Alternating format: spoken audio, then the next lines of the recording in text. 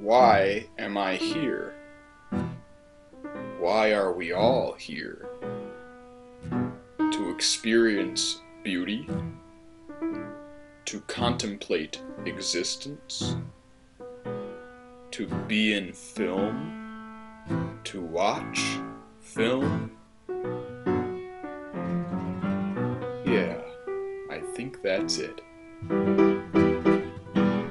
East Lansing Film Festival, featuring the Lake Michigan Film Competition.